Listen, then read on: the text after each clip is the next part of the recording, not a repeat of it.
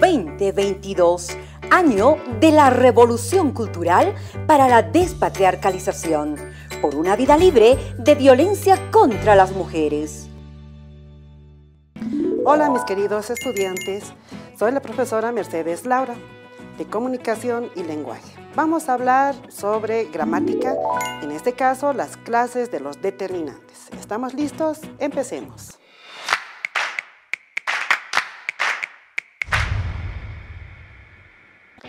Empecemos. ¿Todos listos? Como dijimos, vamos a hablar sobre los determinantes. Vamos a hablar las clases, ya que se refiere a muchas de ellas y en el transcurso vamos a ir desarrollándolos. Primero, tenemos que recordar qué son los determinantes. Son palabras que van a ir siempre acompañadas al sustantivo. ¿Para qué? Para concretarlo, determinarlo, aportar información sobre los mismos. ¿En qué sentido? A partir del género, a partir del número, la situación en el espacio, posesión, entonces lo que quiere es actualizar al sustantivo. en este sentido, vamos a hablar del género del sustantivo, que puede ser femenino y masculino. Cuando hablamos del género femenino, vamos a también hablar sobre el número de estos. En este caso, hablamos del género femenino, una persona. En el otro caso, si hablamos de masculino, vamos a hablar de un solo varón.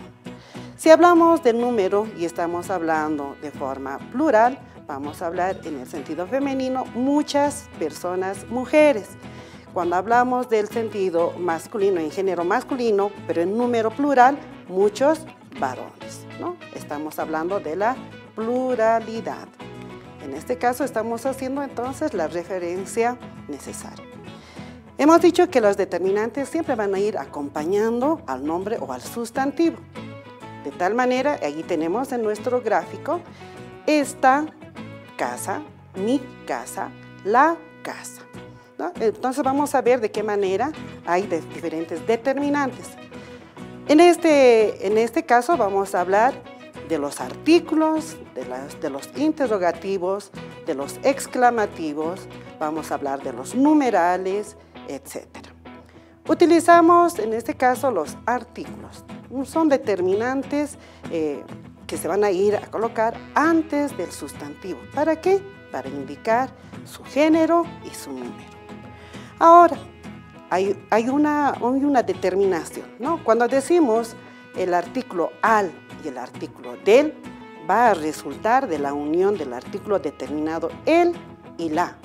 Vamos a unir con la preposición a. ¿Para qué? Para tener la preposición de juntamente con el artículo el. Tenemos que tener muy en cuenta que, todo, que toda esta serie de, de, situaciones que tenemos para utilizar a los artículos determinantes son importantes en la aplicación diaria. ¿Cuáles son estos artículos? El, la, lo, los, las. ¿Y cuáles son las que ya hemos podido unir? Artículo al y el artículo del. ¿Estamos de acuerdo? ¿Se está entendiendo? Vamos a recordar para poder aplicar en nuestro diario conocer. ¿Cómo los aplicamos? Por ejemplo, podemos poner aquí a Bartolina Sisa, es un nombre, pero ¿cómo vamos a aplicar? Ahí está la señora Bartolina Sisa, podríamos decir.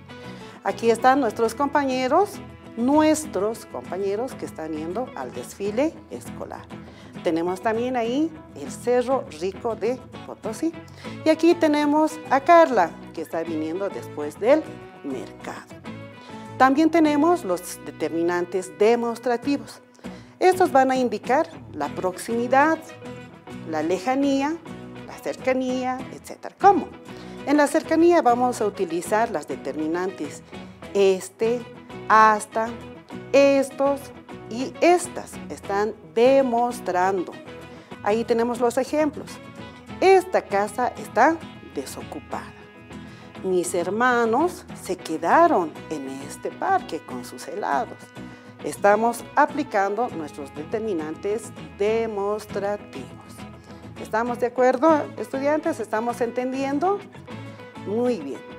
De tal manera que vamos a ir ahora a ver también los mismos eh, determinantes, pero ya para la distancia media. ¿Qué determinantes vamos a utilizar? Aquel, aquella, aquellos, aquellas.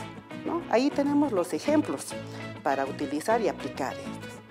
Podemos decir, aquel edificio es el más alto de la ciudad. Todas aquellas mujeres trabajan para hacer este mundo mejor. En este gráfico vamos a poder ver las distancias y las determinantes que vamos a utilizar. Aquel, aquella, aquellas, ese, esa, esos, esas, este, esta, estos, estas, ¿verdad? Muy bien.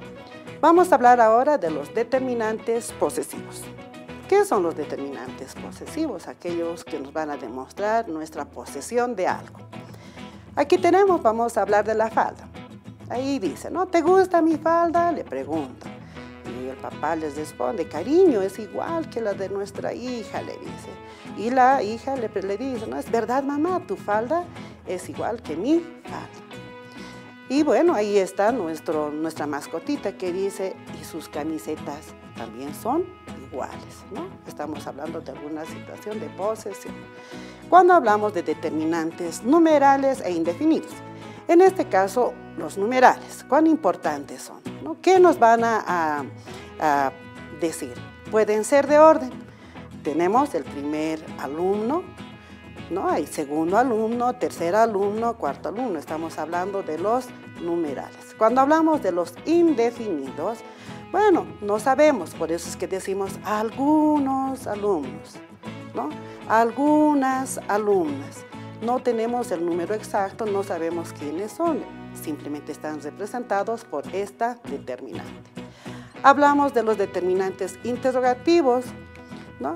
Cuando vemos eh, el y aplicamos las determinantes interrogativas, nos hacemos las preguntas. ¿Qué? ¿Cuál? ¿Quién? ¿Y cuánto? Los exclamativos, cuando tenemos nuestra em, signo que nos dice sorpresa y cómo podemos aplicarla. ¿Qué? ¿Cuál? ¿Quién? ¿Cuánto? Muy bien, hasta aquí hemos llegado con las determinantes. Muy bien, mis queridos estudiantes, después de haber terminado la clase, no se olviden aplicar lo aprendido. Muy importante, las determinantes apoyan al sustantivo. Por tanto, si yo digo la puerta, ¿no? Eh, es lo correcto, pero si digo el puerta, no se oye correctamente. Gramaticalmente no está bien escrito. Ah, y también no te olvides, no puede haber determinantes antes de los nombres propios, es decir, no puedo decir la Mercedes o el Mercedes, simplemente Mercedes, nada más. No olvidemos, vamos a aplicar lo aprendido. Les dejo una tarea. Vamos a rescatar nuestros cuentos de tradición oral. Vamos a transcribir en nuestro cuaderno pero vamos a identificar con colores las determinantes que hemos aprendido. Muy bien, terminada ya la clase, espero que haya sido grato para ustedes. No olviden revisar los textos de aprendizaje. Ah, y otra cosa, no te olvides vacunarte para estar seguros en clase. Nos vemos, hasta otra oportunidad. 2022 año de la revolución cultural para la despatriarcalización, por una vida libre de violencia contra las mujeres.